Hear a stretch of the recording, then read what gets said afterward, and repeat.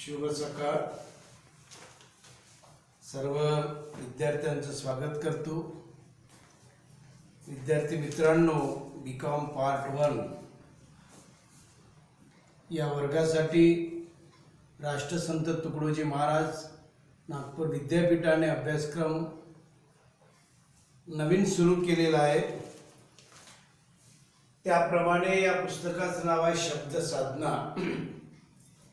दोन हजार वीस एकवीस या सत्राला या अभ्यासक्रमाला विद्यापीठाने मान्यता दिलेली आहे. आणि अभ्यासक्रमामध्ये हा सगळा पाठ्यपुस्तकामध्ये हा सगळा अभ्यासक्रम समाविष्ट केलेला आहे. गद्य विभाग पद्य विभाग आणि व्यावहारिक मराठी अशा तीन विभागामध्ये हा जवळपास अभ्यासक्रम आहे. अभ्यासक्रमामध्ये विविधता आहे. आधुनिक काळ प्राचीन काळ संत काळ आणि व्यावहारिक आजच्या काळामध्ये ज्या मराठीची गरज पडते अशा सर्वव्यापी विषयाचा अभ्यासक्रमामध्ये समावेश केला गेलेला आहे. विद्यार्थ्यांना मराठी भाषेचे ज्ञान व्हावे व्यवहारामध्ये कॉमर्स शाखेचे विद्यार्थी वाणिज्य शाखेचे विद्यार्थी कुठेतरी त्यांनी प्रावीण्य प्राप्त करावं साहित्यातून विचाराची आणि संस्काराची ओळख व्हावी ह्या अनेक हेतूंनी वेगवेगळ्या विचारवंतांचे महापुरुषांचे जीवन कार्य विचार या अभ्यासक्रमामध्ये समाविष्ट केलेले आहेत. गद्य विभाग आणि पद्य विभाग आणि व्यावहारिक मराठी. अशा प्रकारे गद्य विभागामध्ये पहिला जो पाठ दिलेला आहे हा भारतीय लोकशाहीचे भवितव्य. याचे लेखक आहेत डॉक्टर बाबासाहेब आंबेडकर. क्रमांक दोन आहे काळी आई. लेखक आहेत व्यंकटेश माडगुळकर क्रमांक तीन आहे तुकारामाचे अभंग. लेखक आहेत निर्मल कुमार फडकुले नंबर चार आहे माझी शाळा. लेखक आहेत प्रकाश खरात. पाच आहेत समतेचे वारकरी संत गाडगे बाबा आणि संत तुकडोजी महाराज.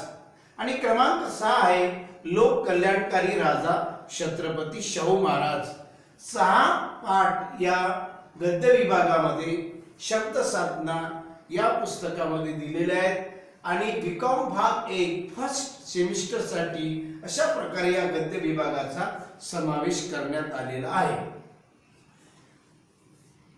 पद्य विभागामध्ये क्रमांक एक आहे ज्ञानेश्वरांचे अभंग. संत ज्ञानेश्वर यांचा तो अभंग आहे. क्रमांक दोन आहे वनसुधा. कवी आहेत वामन पंडित. क्रमांक तीन आहे नवाब शिपाई. कवी आहेत केशवसूत क्रमांक चार मेंढर ही कविता आहे. कवी आहेत विठ्ठल वाघ. क्रमांक पाच पोरी यांच्या कवयित्री आहेत अनुराधा पाटील. क्रमांक सहा कविता आहे गाव कवी आहे हेमंत कुमार कांबळे. आणि व्यावहारिक मराठीमध्ये मणी आणि मुलाखत लेखन या याचा समावेश आपल्याला अभ्यासक्रमामध्ये बीकॉम भाग एक या सत्रासाठी आपल्याला हा सर्व अभ्यासक्रम समाविष्ट करण्यात आलेला आहे. तर विद्यार्थी मित्रांनो आपल्याला सुरुवातीला भारतीय लोकशाहीचे भवितव्य हा जो पाठ आहे या पाठाबद्दल आणि याचे जे लेखक आहेत डॉक्टर बाबासाहेब आंबेडकर यांच्याबद्दल बऱ्याच लोकांना थोडीफार माहिती याची जाणीव आहे की भारतीय लोकशाही काय आहे डॉक्टर बाबासाहेब आंबेडकर कोण आहेत याविषयी बरीच माहिती आपल्याला आहे. तर आपण या सगळ्यांबद्दलची जी माहिती आहे डॉक्टर बाबासाहेब आंबेडकर भारतरत्न त्यांना मिळालेला आहे. ते एका वेगळ्या विचारांनी प्रवृत्त झालेले आहेत. आणि लोकशाहीबद्दल तर आज जग संपूर्ण जग हे लोकशाहीकडे चाललेलं आहे. या सगळ्या विचारामध्ये लोकशाहीचा उगम कसा झाला? भारतात पूर्वी लोकशाही कशी होती? सध्याची परिस्थिती काय आहे लोकशाहीची? ही लोकशाही खरोखर विकासाकडे चाललेली आहे प्रगतीकडे चाललेली आहे की अधोगतीकडे चाललेली आहे? ही लोकशाही खरोखर अधोगतीकडे जाण्यासाठी काय कारणे आहेत? म्हणजे आज जर आपण पाहिलं तर सव्वीस जानेवारी एकोणीसशे पन्नास हा या लोकशाहीचा जन्मदिवस भारताच्या गणराज्याचा हा जन्मदिवस आहे. एक नवा भारत नवराष्ट्र घडवण्याचा हा पहिला दिवस आहे सव्वीस जानेवारी एकोणीसशे पन्नास. लोकशाहीचा जन्म या दिवशी भारतामध्ये झाला. अशा प्रकारे लोकशाहीचा जन्म होण्यापूर्वी डॉक्टर बाबासाहेब आंबेडकर कोण आहेत? यांनी ही भारतीय राज्य घटना लिहिलेली आहे. आज एखादा राष्ट्र एखादा देश हा जर आपल्याला पूर्णत्व त्याला जर द्यायचं असेल तर मात्र त्याला भूप्रदेश लोक शासन आणि राज्य घटना हे प्रमुख चार घटक जवळपास पाहिजे आणि हे चारही घटक आज आपल्या या भारत देशामध्ये जर लोकशाहीचा विचार जर आपण केला की सव्वीस जानेवारी एकोणीसशे पन्नास आज जवळपास सत्तर वर्ष या लोकशाहीला आपल्या देशामध्ये झालेले आहे. जगातील सगळ्यात मोठी लोकशाही असलेला हा देश आणि या देशाचे आपण नागरिक हा अभिमान आपल्याला आहे की जगामध्ये सगळ्यात मोठा लोकशाही असलेला देश आणि त्याचे आपण नागरिक आणि आपलं नैतिक कर्तव्य आहे की या लोकशाहीची जोपासना तिचं संरक्षण तिचं संवर्धन आपण केलं पाहिजे. परंतु आज मात्र या जगातल्या सगळ्यात मोठ्या लोकशाही असलेल्या देशामध्ये आज लोकशाहीचं संवर्धन आणि संरक्षण होताना मात्र दिसत नाही तिचं जतन होताना मात्र दिसत नाही आणि म्हणून आज ही लोकशाही धोक्यात का आली? काय कारणे आहेत? भारताची एकंदरीत सामाजिक धार्मिक आर्थिक राजकीय ही सगळी परिस्थिती कशी काय आहे? आणि या सगळ्या गोष्टीचा प्रभाव या लोकशाहीवर कसा पडलेला आहे? आणि म्हणूनच आपण ही भारतीय लोकशाही आहे. जवळपास सोळाशे साली इंग्लंडमध्ये लोकशाहीचा जन्म झाला. आणि लोकशाहीचं माहेरघर या इंग्लंडला म्हटलं जातं. सोळाशे साली एक ईस्ट इंडिया कंपनी संपूर्ण जगामध्ये आपला व्यापार करण्यासाठी अशा प्रकारे प्रवासाला निघाली. आणि भारत देशामध्ये ही ईस्ट इंडिया कंपनी आल्यानंतर इंग्रजांचा प्रवेश या भारत देशामध्ये झाला. भारत देशामध्ये त्या काळामध्ये सर्वत्र एक राजेशाही होती. लोकशाही त्या काळामध्ये नव्हती. ईस्ट इंडिया कंपनी आली. सगळे संस्थान राजेशाही संपूर्ण भारतामध्ये त्या काळामध्ये होती. आणि या सगळ्या राजांना ईस्ट इंडिया कंपनीने एकंदरीत तात्पर्य हे की इंग्लंडच्या या साम्राज्याने भारत सरकार भारतामध्ये जे काही राजेशाही होते या राजांना आपले मांडलिक बनवलं गुलाम बनवलं आणि संपूर्ण भारतामध्ये एक सूत्री अंमल या इंग्रज सत्तेचा आपल्याला दिसू लागला. आणि इंग्रजांचं आगमन म्हणजे एक प्रकारे हळूहळू लोकशाहीचा उदय होण्याची पार्श्वभूमी या देशामध्ये तयार व्हायला लागली होती. आणि एकोणीसशे पस्तीसपासून आपल्या भारतातील प्रतिनिधींना या कायदे मंडळामध्ये समाविष्ट करण्यात आले होते. आणि जो काही निर्णय मंत्रिमंडळाचा कायदे मंडळाचा व्हायचा त्यामध्ये सगळ्या भारतीय लोकांचा प्रांतीय प्रतिनिधीचा समावेश करण्यात आला होता. आणि त्याच पद्धतीने एकोणीसशे छेचाळीसमध्ये डॉक्टर बाबासाहेब आंबेडकर जेव्हा घटना समितीवर एकेका प्रांतामधून एक एक प्रतिनिधी निवडण्यात निवडण्याचं काम सुरू झालं.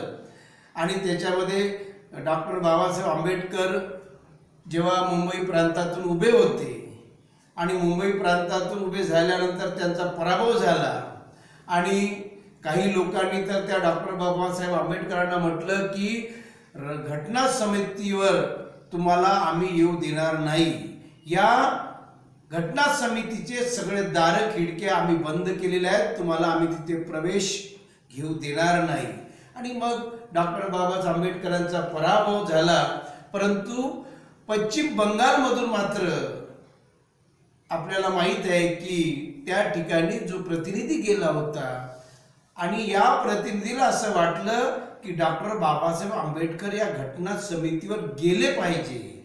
आणि म्हणून त्यांनी आपल्या स्वतःच्या प्रतिनिधी सदस्याचा राजीनामा दिला घटना समितीचा आणि बाबासाहेबांना तिथे उभं राहण्याची संधी दिली. डॉक्टर बाबासाहेब आंबेडकर त्या पश्चिम बंगालमधून या घटना समितीवर निवडून आले.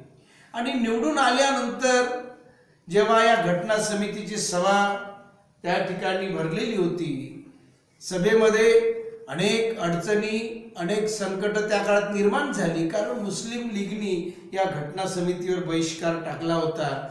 आणि वेगवेगळ्या अशा समित्या त्या ठिकाणी तयार करण्यात आलेल्या होत्या. आणि मग घटना समितीचे जे अध्यक्ष आहेत हे डॉक्टर राजेंद्र प्रसाद अध्यक्ष होते.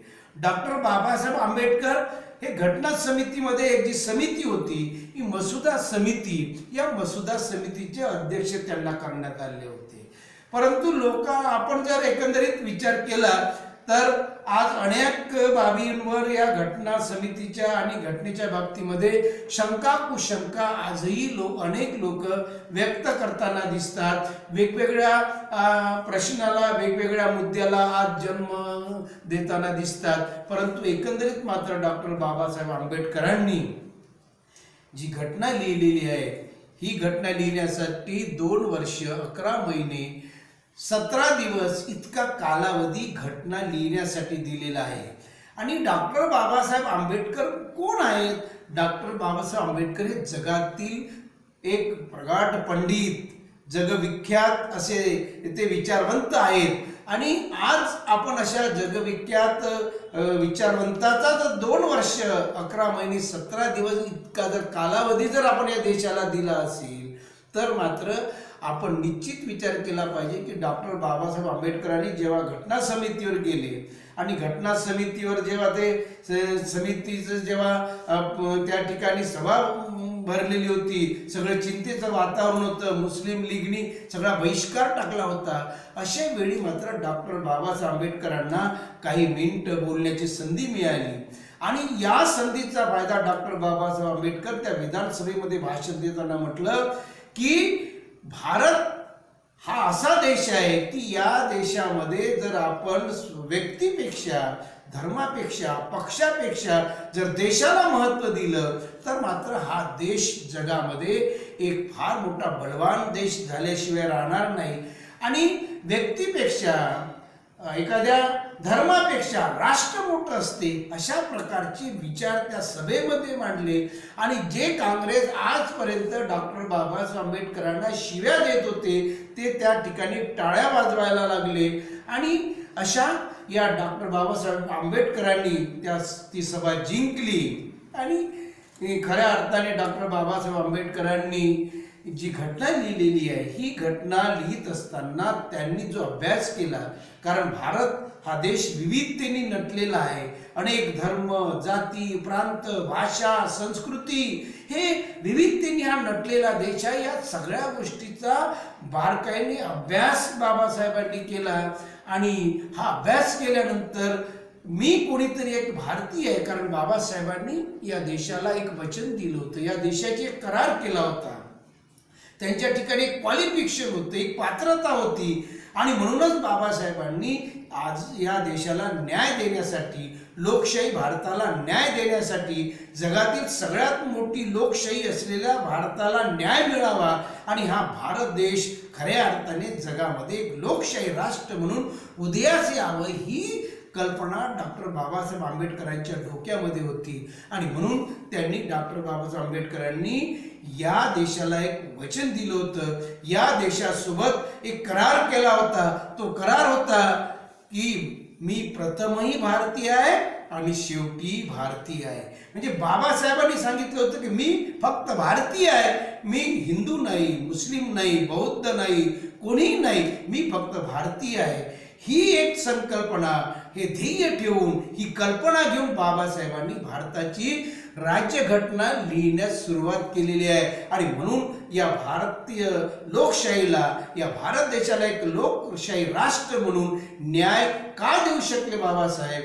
तर हे केवळ बाबासाहेबांच्या डोक्यामध्ये मी भारतीय आहे. बाकी सगळ्या गोष्टीला त्यांनी कुठेतरी संपुष्टात आणलं. आणि मी फक्त भारतीय आहे ही एक निश्चित असं भूमिका घेऊन त्यांनी भारताची राज्यघटना लिहिल्याचं दिसून येते. आणि आपल्याला जर ही राज्यघटना खरोखर लक्षात घ्यायची असेल तर आपल्या डोक्यातील जे काही आपलं आपण स्वतःला जे हिंदू मुस्लिम बौद्ध शीख इसाई किंवा अजून प्रांतीय किंवा अजून जे काही भेद आहेत हे भेद जोपर्यंत आपल्या डोक्यातून आपण संपवणार नाही तोपर्यंत खऱ्या अर्थाने आपण या भारतीय लोकशाहीला भारतीय राज्यघटनेला न्याय देऊ शकणार नाही. आणि म्हणून आपल्याला ही सर्वप्रथम आपण मी भारतीय आहे ही भावना आपल्या डोक्यात ठेवून या सगळ्या विचाराचा या भारतीय लोकशाहीचा विचार करायचा आहे. आणि म्हणूनच आपण या तयारीने या पुढच्या तासाला की मी प्रथमही भारतीय आहे आणि शेवटी भारतीय आहे. मी फक्त भारतीय आहे ही भावना घेऊन पुढच्या तासाला या. आपण अभ्यासक्रमाला अभ्यासक्रमाला सुरुवात करू. धन्यवाद.